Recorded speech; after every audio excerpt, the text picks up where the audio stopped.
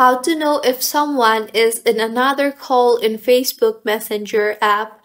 Hello everyone, I am Bishaka and welcome to our channel. I will take you through the step-by-step -step process on how to know if someone is in another call in Facebook Messenger app. Now let's get right into the tutorial. Firstly, go ahead and open App Store and search for Messenger and make sure your app is updated to its latest version as this will allow you to use the latest features updated by Messenger.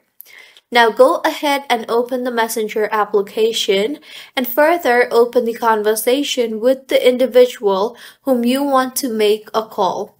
If their active status is toggled on, then you will be able to see that they are online.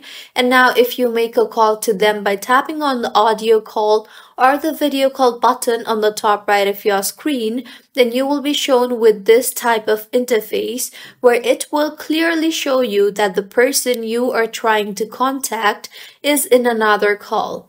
And this is how you can know if someone is in another call in Facebook Messenger. If you find this tutorial helpful, please make sure to like the video and do subscribe to our channel for more contents like this. Thank you for staying with us until the end.